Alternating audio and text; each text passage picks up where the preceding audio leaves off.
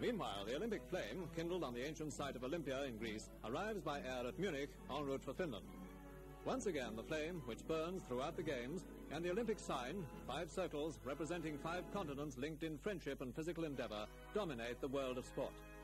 The flame leaves on the next stage of its journey to Helsinki, where soon, beneath its age-old message, all races and creeds will meet for the glory of sport.